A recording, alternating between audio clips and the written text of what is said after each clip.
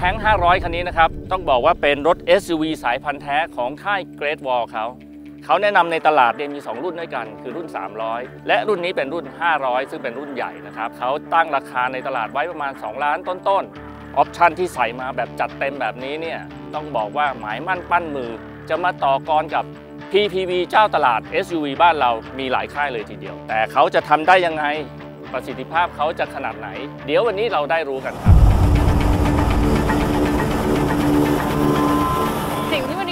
รู้ที่สุดเลยนะคะ ก็คือเรื่องของการขับสี่ของรถคันนี้ค่ะ เพราะว่าได้ยินมานะคะว่าออปชั่นของเขาแพรวพราวมาก มีหลาย ๆ อย่างเลยที่เราอยากเทสวันนี้ แล้ววันนี้นะคะโอกาสดีมาก ๆ เพราะว่าเรามาอยู่ที่สนาม Spirit Adventure Ground นะคะ และเราก็จะมีโปรขับสีของเราค่ะ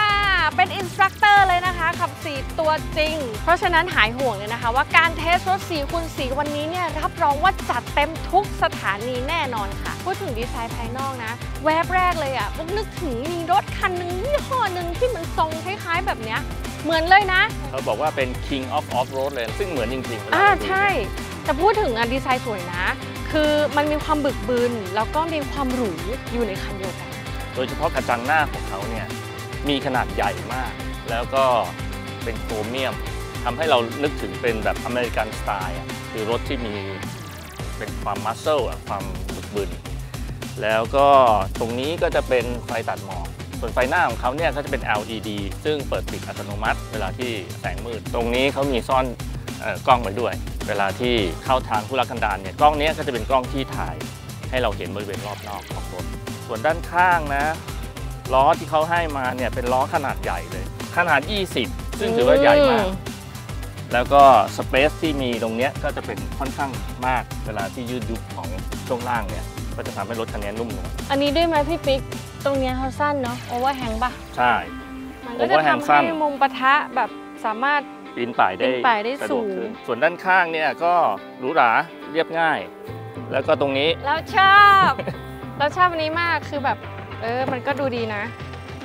อย่างเงี้ย แล้วก็สะดวกสบายมากเลยอะสำหรับคนถ้าอายุเยอะๆหน่อยอย่างเงี้ย มีบันไดให้ แต่เวลาที่เราอยู่ในเส้นทางธุรกันดารเนี่ย อันฟังก์ชันเนี้ยสามารถปิดได้ เพราะว่าเวลาที่เราเอ่อมีเนินอยู่ข้างๆ เนี่ย ถ้ามันออกมามันอาจจะเสียหายอืมนี่คือข้อดีเนาะเออส่วนข้างบนหลังคาก็มีราวหลังคา เผื่อว่าจะบรรทุกของสัมภาระมากขึ้น ก็สามารถใช้งานบริเวณข้างบนหลังคานี้ได้ ส่วนด้านท้ายของเขาเนี่ย ก็มีความหรูหราใช้ได้ทีเดียวนะคือไฟท้ายของเขาเป็นแนวตั้ง แล้วก็มีไฟเบรกตรงที่3เนี่ยขนาดใหญ่อยู่ข้างบนทำให้รถคันนี้เนี่ยมีความปลอดภัยมากขึ้นในยามค่ำคืน เพราะว่าแสงเบรกเนี่ยจะเห็นแต่ไกลเลยครับ อันนี้เอกลักษณ์เขาเลยใช่ไหมพี่ปิ๊กที่เปิด แบบนี้ใช่เป็นการเปิดแบบนี้ก็สะดวกนะ คืออืม SUV บางรุ่นเปิดขึ้นใช่ไหมที่ความสูงไม่มากก็จะลำบากแต่อย่างเงี้ยเด็กก็เปิดได้ แต่ว่าข้อเสียของไอ้บานพับแบบเนี้ยคือเวลารถเอียงอยู่เนี่ยอืมมันอาจจะพับลงมา แต่เขาก็มีระบบตัวล็อกให้เออมีประโยชน์เวลารถล็อกกับอันล็อกเอียงได้อยู่เนาะใช่ก็ที่ชอบอีกอันหนึงมันก็จะเป็นอันนี้นี่โอ้โห เป็นอัตโนมัติด้วยใช่แต่เราต้องกดค้างนะ ถ้าเราปล่อยมันก็หยุด ปุ่มควบคุมนี้ก็มีตรงนู้นด้วยนะเออสำหรับคนนั่งอยู่ข้างในจะต้องการพับด้านเดียวก็กด ลองพับเบอกกลางไหมลองดูว่ามันจะ เยอะได้ขนาดไหน เฮ้ย มันก็จะแบบลาดๆลงมาหน่อยเนาะ อืมเก็บของก็ ก็ได้เยอะอะพี่บิ๊กว่าสำหรับรถไซส์เนี้ย การเก็บของข้างในอะจุไหม ก็ถ้าดูจากตัวถังเขาเนี่ยอืม เอ่อคาดหวังว่าข้างในเนี่ยจะเก็บได้มากกว่านี้แต่ว่าอันเนี้ยก็พอจะเทียบไซส์ได้กับพวก PTV ที่ขายอยู่ในตลาด ก็อยู่ก็ต้องเรียกว่าเอ่อกระชับอะแต่ก็มีฟังก์ชันที่พอใช้งานได้สสะดวกอยู่นี่ทีเด็ดของเขาคือฝาท้าย เห็นว่ามันจะมีฟังก์ชัน ดูดเองด้วยแหมทะลุทะลามาก จุดเด่นอีกอย่างหนึ่งของเขาก็คือว่าเป็น SUV พันธุ์แท้เลยต้องมียางอะไหล่อยู่ด้านหลังอืมเพราะว่าเวลาเข้าทางเส้นทางธุรกันดารเนี่ยบางทีเราไปเจอเอ่ออุปสรรคบางอย่าง อาจจะยางแตกล้อต้องเปลี่ยน อันนี้ก็ยังมี อะไหล่แน่นอน สิ่งที่เขาทำมาครอบเนี่ยก็คือเป็นฝาครอบที่ทำให้แต่ดูสวยงามขึ้น แล้วก็หรูหราขึ้นอืมโดยเฉพาะอย่างยิ่งเนี่ยซ่อนกล้องไว้ตรงนี้ด้วย ก็เวลาที่เราเข้าเส้นทางต่างๆ กล้องตัวนี้ก็จะช่วยส่องบริเวณด้านหลังก็ดูแข็งแรงนะ แล้วมันเป็นสีเดียวกับรถด้วยอืมหรูหราเลยทีเดียวว่าตรงนี้มีโครเมียมล้อมรอบแผงใหญ่เลยทีเดียว งั้นเราไปดูข้างในบ้างไหมไปเห็นได้ข่าวว่าหรูหราเบอร์ใหญ่มาก เป็นไงบ้างเกินคาดเนาะอืมเออเข้ามารู้สึกแบบมันหรูหรากว่าที่คาดไว้อะใช่ วัสดุเขาดีมากเลยเนาะนี่มันเป็นหนังนะอืม หลายๆจุดเนี่ยรู้สึกได้ว่าเป็นหนัง โดยเฉพาะอย่างยิ่งนะพวงมาลัยพุ่มหนังอืม อย่างดีเลย รู้สึกแบบหรูหราคือเนื้อสัมผัสดีทุกอย่างเลยเนาะแม้กระทั่งเบาะอืมก็นั่งสบายมันคือหนังนับ ป้าเนาะ แล้วก็ของเหมือนคนกับขับเนี่ยอืมปรับได้ 8 ทิศทาง คนนั่งเนี่ยได้ 6 ทิศทาง ที่สำคัญคือมีปุ่มตรงนี้สำหรับเวลาอืมเจ้านายนั่งข้างหลังเนี่ย แล้วตรงนี้อืมไม่มีคนก็พับเบาะปึ๊บไปได้เลยอ่าแล้วก็ที่เห็นตรงตรงเนี้ยทำให้มันดูแบบพรีเมียมเลยนะอืมเหมือนอย่างรถผู้ดีอังกฤษหรูเขาก็จะใส่นาฬิกาทรงกลมเนี่ยไว้ตรงกลางคอนโซลอย่างเงี้ยเป็นลายพิเศษเลยนะ ไม่ค่อยเคยเห็นอื มันเหมือนเป็นไอ้เกล็ดของมังกรอะอืมปุ่มเปิ่มต่างๆเขาก็ว่าจัดวางได้ดีเนาะใช่ใช้งานสะดวกโดยเฉพาะไอ้ตรงกลางเนี่ยก็ปุ่มใหญ่ เห็นแล้วก็ใช้งานง่าย ส่วนคนขับจะมีช่องข้างล่างนี้ด้วยอืสามารถวางอะไรได้นิดหน่อย แล้วก็มีที่เสียบชาร์จได้ 2 ช่อง USB กับ USB C ตรงนี้ก็ดีนะเพราะว่าเนี้ยชอบอันนี้มันเก็บของได้เยอะ work มันแบบเออ มันมีลมออกมาด้วยมันเหมือนมันสามารถแช่อะไรได้ในนั้นเลยอะมคือถ้าวางแก้วอะรู้สึกมันลึกไปหน่อย แล้วก็มันแบบอาจจะหยิบยาก แต่ถ้าขวดเนี่ยสบายมาก แล้วก็ช่องลมตรงเนี้ยมันก็ออกมาโดนบริเวณนี้ด้วยทำให้รักษาความเย็นของน้ำบริเวณนี้ได้หัวเกียร์ของเขาอะก็อืมออกแบบได้ดีนะ ความรู้สึกเหมือนเป็นจอยสติ๊กของเครื่องบิน นี่เป็นปรับด้วยไฟฟ้า ฮารูฮารามากปึ๊บขึ้นลงได้เข้าออกได้อย่างนี้ให้พวงมาลัยไฟฟ้าด้วยอะอืมนี่ปุ่มนี้ก็สวยนะ เป็นคริสตัลเห็นเป้าใช่อืมเสริมเพิ่มความหรูหรานะอันนี้ นี่มีแพดเดิลชิพสำหรับเวลาเราขับแล้วแบบอยากจะสนุกเปลี่ยนเกียร์อ่าก็ไม่ต้องเอื้อมมือไปตรงนี้ปุ่มต่างๆ เนี่ยก็มีทั้งในหน้าจอควบคุมในนี้เออก็ได้หรือว่าบางปุ่มก็ใช้ตรงนี้ ในการกดเปิดปิดได้ อย่างไอ้พับกระจกเนี่ยเนาะมันก็จะสามารถที่จะแบบโฟกระจกได้จากอืมตรงนี้แล้วพี่ปิ๊กก็กดตรงนู้นได้ตรงใช่ไหมนั้นก็ได้ หรือการเปิดปิดหน้าต่างตรงนี้ต่างๆ ก็เนาะตั้ง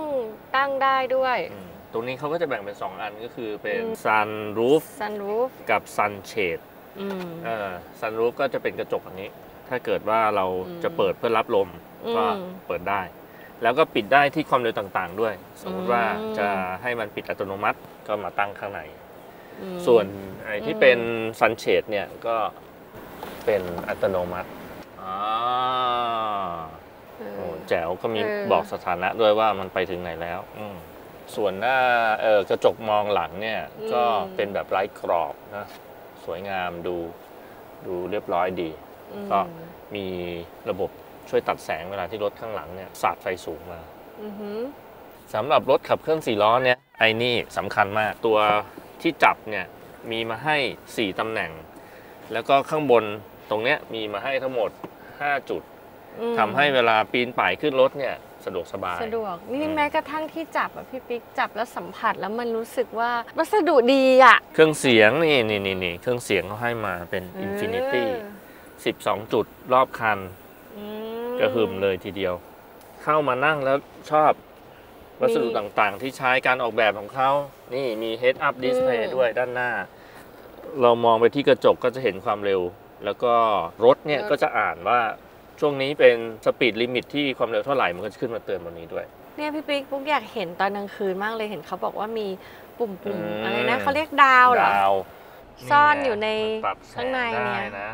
มันต้องสวยแน่เลยเนอะตอนกลางเอคืนออะเพิ่มความหรูหราในยามค่ำคืน โดยรวมก็ดูดีนะใช่ หรูดีหรมากเลยอะเราไปดูข้างหลังกันดีกว่า ไปะเออปีนสะดวกสบายจังเลย อันนี้ใช่เอ็นได้ไหมเอ็นได้ไหม ได้ด้วย โอ้ สบาย เฮ้ย เจ๋ง ไหนถ้าสมมุติว่าเจ้านายมานั่งอืม พี่ปิ๊กจะปรับเบาะให้แบบมันเถิบไปสุดซิว่ามันจะเป็นยังไง มันได้จะขนาดไหน ไม่ถึงนะเดี๋ยวก่อนโอ้โอ้กว้างเลย แถมอันเนี้ยปรับเอนได้อีก ถ้าจะนอนปึ๊บ โอ้โอ้โหโห first class first class โอเคแล้วก็มีดีนะแอร์ด้วยนะ มีแอร์ข้างบนกับแอร์ตรงนี้ สามารถปรับอืมอุณหภูมิซ้ายอันขวาแยกได้ ปุ่มก็สวยเนาะ ปรับอุณหภูมิขึ้นลง ปรับลม มีเอ้ยที่เท้าแขนเจ๋งตรงอะกลางด้วยไหมมี อืมโอเคนะกว้างขวางสะดวกสบาย ตรงด้านเนี้ยมีม่านด้วยนะนี่อ่าม่านกันแดด แถวสองมันกว้างขนาดนี้แล้วพี่ปิ๊กไม่ห่วงละหายห่วงแล้วอืมทีเนี้ยเหลือแถวสามอืมมาดูกันไหมว่ามันจะไปลองจะใหญ่จะแคบจะยังไงปึ๊บอาบฟ้าบอะไปโอ้แอบแคบเหมือนกันเนาะเอ้ย โอเค โอเค เป็นไงสบายไหมข้างหลัง โอเคนะ อันนี้สำคัญมาก เวลาแบบจะต้องลองหัวอย่างเงี้ยอืมพอเอาขึ้นมาเสร็จเออ นั่งสบาย มุมขาก็ก็ถ้าคนชอบนั่งเชิญชันๆอะ เราก็อืมเหมือนแบบนั่งเอาขาขึ้นมาชันอย่างเงี้ยเออสบายดีนะ โอเค มีแอร์สองฝั่ง โอเคนะ แล้วก็มีไฟด้วย โอ้แต่ไฟอ่านหนังสือนี่ดีมากเลยนะ มีให้ทุกตำแหน่ง แล้วก็ตรงนี้มีที่วางน้ำด้วย แล้วก็มีที่วางโทรศัพท์ อืมโอเคเลยนะ อันนี้เนี่ยมีที่จับให้ด้วยใช่ไหม ใช่ ตัวลำโพงรู้สึกว่าเขาเหมือนแบบแปะเพิ่มยังไงไม่รู้เนอะอ้าวเหรอมืนแบบมเหมือนไม่ไม่ได้กลมกลืนไปกับตัวเอขอองบอเสาดี้ตมัรนงนั้นะนนะเนาะอืมอืมใช่ นี่ถ้ามันสบายอย่างนี้เราไปเชียงใหม่เลยไหม คิดไหวไหมดูก่อนนะไหวก่อนไหมนั่งข้างหน้าโอเค ให้นั่งข้างหน้าโอเคอันนั่งข้างหลังเอาคิดดูก่อนอืมให้เด็กๆไงก็แบบว่าสูงไม่เกินร้อยหกสิบอย่างเงี้ยอ๋อมานั่งข้างหลังก็โอเคอืมสบายก็เลเป็นรถครอบยครัวที่ใช้ได้อยู่นะเอาล่ะถึงเวลาเราต้องไปทดสอบสมรรถนะกันแล้วแหละอืมโอเคไปเฮ้ยเราเดี๋ยวเราเดี๋ยวเราจองเดี๋ยวเราจองทางเรียบนะ เราจองทางเรียบนะอ่าทางฝุ่นพี่เอาไปอืมเลย เอาไปเลย เอาล่ะพี่ปิ๊ก ในที่สุดเราก็มาถึงช่วงเวลาที่รอคอย ก็คือ four wheel mode กดไปเลย อืม มีอะไรบ้างเนี่ยเดี๋ยวโอ้ในหน้าแรกเนี่ยเขาก็จะบอกว่า ตอนนี้ลมยางเป็นยังไงอุณหภูมิยางของแต่ละล้อเป็นยังไง อืมแล้วก็เป็นโหมดอะไรอยู่เป็นข้อมูลเพื่อให้คนขับรู้ว่าสถานะรถตอนนี้เป็นยังไง โอเครวมถึงระบบการทำงานตอนนี้ยังไม่ได้ล็อกอะไรเลย นี่เป็นอ๋อดิฟล็อกเนี่ยเหเป็นรออิสระ อืมใช่ แต่ถ้าเมื่อไหร่เราเข้าโหมดที่เป็นขับเคลื่อนสี่ล้อเนี่ยมันอืมหมุนจากตรงนี้ได้เอาเลยไหมโอเค ก็ตรงนี้เนี่ยมันเป็นเนินสลับอืมอ่าฮะเวลาเข้าเส้นทางธุรกันดารเนี่ยถ้าเรารู้จักตำแหน่งของล้อเนี่ยอือหือเราก็พยายามวางให้ล้อเนี่ยสัมผัสพื้นอืมอย่างน้อยอต้ย่าองงน้อยสามล้อสามล้อขึ้นไปอืมอันเนี้ยเขาก็จะมีจอให้เราเห็นด้วยว่าตอนเนี้ยอืมรถผ่านไปตรงไหน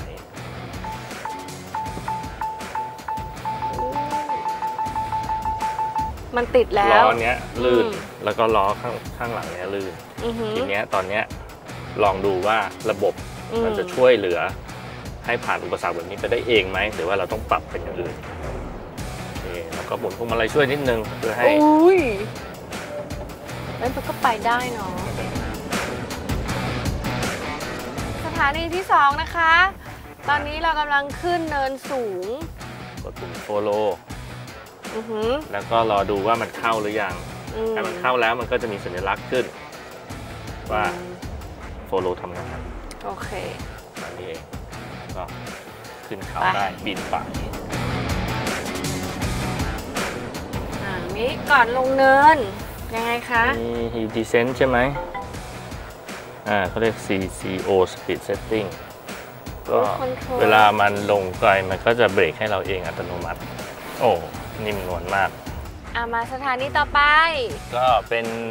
จริงๆคล้ายๆ อันนั้นแหละ แต่ว่ามันเป็นเป็นเหมือนหลุมลงไป อันนี้ทดสอบแบบความนุ่มนวลของช่วงล่าง ใช่ระบบขับเคลื่อนสี่ล้อของเขา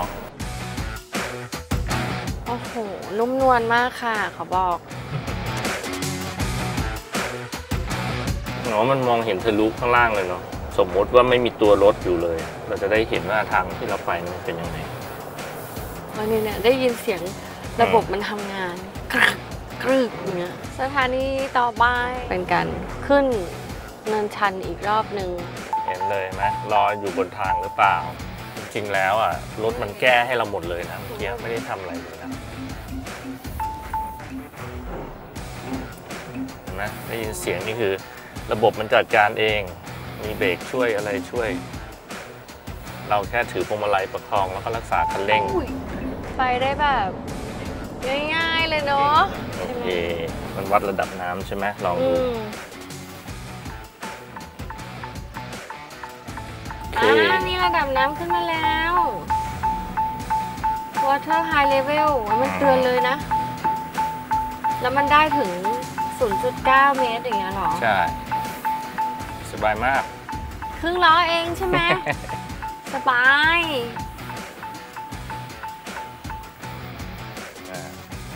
เทิร์นก็คือ เขาจะช่วยทำให้การเลี้ยวในที่แคบเนี่ยมันแคบขึ้นโดยการช่วยเบรกล้อหลังด้านที่อยู่ด้านในเดี๋ยวเราสังเกตเนี่ยสังเกตเสียงเห็นไหมอันนี้คือการเบรกล้อหลังโอ้โหแคบมากเลยจริงๆมีประโยชน์มากเวลาเข้าเออป่าอะเดี๋ยวเราจะลองแบบไม่ไม่มีไม่แทงแข็งเทิร์น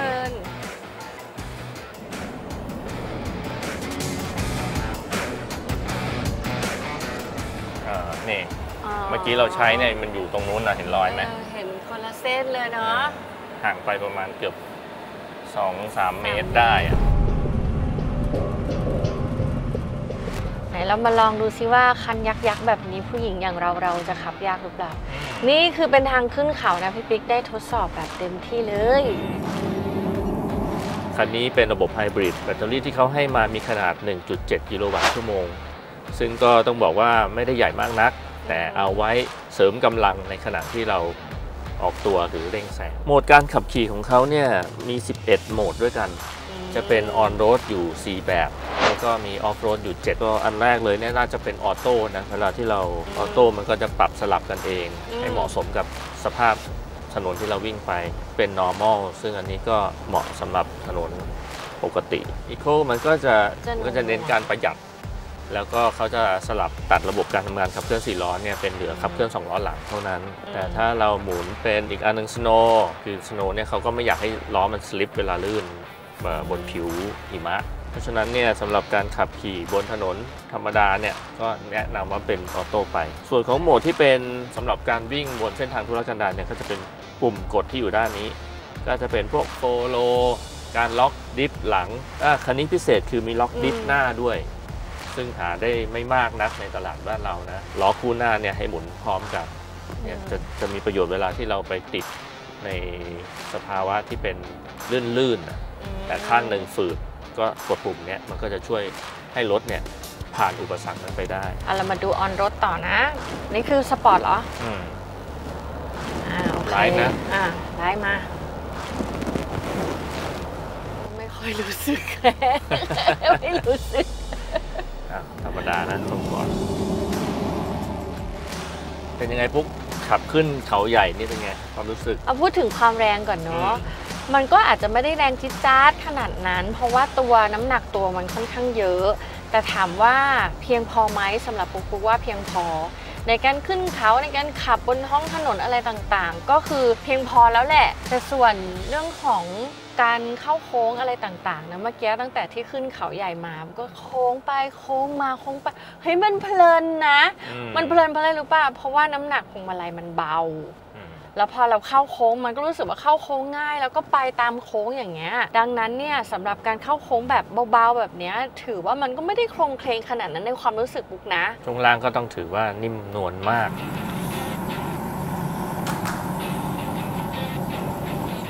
เอาละเราลองในสภาพเส้นทางธุรกันดารกันมาจนแบบอิ่มแล้วอ่าทีนี้เรามาดูผลทดสอบรถคันนี้กันบ้างดีกว่าว่า เวลาที่เราติดตั้งเครื่องมือดาตรอนเนี่ย ผลของเขาจะเป็นยังไง เราทดสอบอัตราเร่ง 0 ถึง 100 ของรถคันนี้เนี่ยเขาทำได้ในเวลา 9.4 วินาที แล้วก็ที่ความเร็วปลาย 0 ถึง 1,000 เมตร วิ่งยาวๆไปเนี่ยภายในเวลา 31.9 ก็ถือว่าใช้ได้สำหรับอัตราเร่งเอ่อต่อเนื่องเนี่ยนะ แล้วก็เวลาเร่งแซงเนี่ยเราแบ่งเป็น 2 หัวข้อ หัวข้อ 60 ร้อยซึ่งเป็นความเร็วต่ำหน่อยเนี่ยก็ทำได้ 4.6 วินาทีอืมแล้วก็ที่ 80 120ทำได้ 5.2 วินาที ถ้าเราดูจากหัวข้ออัตราเร่งอัตราเร่งยืดหยุ่นเนี่ยก็ต้องบอกว่ารถคันนี้เนี่ยทำได้ดีทีเดียวอยู่ในเกณฑ์เฉลี่ยที่ค่อนข้างไปในทางที่ดีนะอืมเมื่อเทียบกับรถ PPV เจ้าตลาด หรือว่ารถ SUV ที่เป็น crossover เจ้าตลาดเนี่ยสู้ได้สบายมาก ส่วนเรื่องของเบรกที่ความเร็ว 60 เนี่ย รถคันนี้หยุดได้ในระยะ 16.1 เมตรอืมก็ถือว่าใช้ได้ ที่ความเร็ว 80 เนี่ย หยุดได้ในระยะ 29.7 ส่วนที่ความเร็วร้อยนั้น เบรกไกลหน่อย หยุดได้ในระยะ 45.8อืมก็ต้องบอกว่าที่ความเร็วไม่สูงมากนัก รถคันนี้มีประสิทธิภาพการเบรกที่มั่นใจได้อืมแต่ก็ด้วยความที่เป็น body on frame หรือโครงสร้างของรถเนี่ย เป็นมีความลักษณะที่คล้าย PPV อืมระยะเบรกเนี่ยก็จะไปใกล้กับกลุ่ม PPV เขาทีนี้เราคงต้องมาสรุปอืมว่ารถคันนี้เป็นยังไงชอบไม่อ่าชอบหลังจากลองขับแล้ว เอาแบบส่วนตัวเลยนะ ในความคิดของบุ๊กเลยนะคะ รถคันนี้สำหรับราคา 2 ล้านกว่านี่ถือว่าคุ้มค่ามาก ๆ ขับออนรถก็ดี ขับออฟโรดเมื่อกี้ไม่ต้องพูดถึงเลยคือเกินคาด แล้วก็ความหรูหราต่างๆ ที่ได้ไม่ว่าจะเป็นภายในอะหรูหรามากๆ เบาะนั่งสบาย หรือแม้กระทั่งแบบฟีเจอร์ตต่างๆ ในรถจอกราฟิกโหทุกอย่างมันคือล้ำอะแล้วพี่ปิ๊กอะชอบเหมือนกันไหมคันเนี้ยก็ต้องบอกว่ามันจะอยู่ตรงกลางระหว่างสองอย่างเนี้ยคือลุยก็ได้ สบายก็มีใน segment เนี้ยต้องบอกเลย ก็ยังไม่มี ก็ถือว่าเป็นทางเลือกใหม่นะอืมที่มีระบบขับเคลื่อนสี่ล้อเข้ามาอยู่ในรถที่เป็นระบบไฮบริดสำหรับเรื่องของสิ่งที่อยากให้เขาปรับปรุงนิดนึงอ่าก็คือเรื่องของระบบขับเคลื่อนเกียร์ของเขา เวลาที่เรากดคันเร่ง kick down แบบฉับพลันเนี่ยการเปลี่ยนเกียร์เนี่ยอาจจะยังไม่ราบเรียบเท่าที่ควร ก็คือเรารู้สึกได้ว่ามันมีการเปลี่ยนเกียร์แบบฉับพลัน แต่ก็ยังไงก็ตามเนี่ยสิ่งที่เราจะต้องดูต่อไปก็คือเรื่องของความทนทานอืมศูนย์บริการกับแบรนด์ใหม่เนี่ยเป็นอะไรที่ต้องจับตามอง ถ้าใครมีความคิดเห็นอะไรนะคะ สามารถพูดคุยกันด้านล่างนี้ได้เลยนะคะ คอมเมนต์ไว้ด้านใต้นี้ได้เลย อย่าลืมกดไลค์กดแชร์ กด subscribe channel Auto Info ออนไลน์ด้วยนะคะ ถ้าไม่อยากพลาดคันต่อไป อย่าลืมกดกระดิ่งด้วยนะครับ จะได้ติดตาม รถคันต่อไปที่พวกเราจะลองกันครับสำหรับวันนี้เราสองคนต้องลาไปก่อนค่ะ สวัสดีค่ะ สวัสดีครับ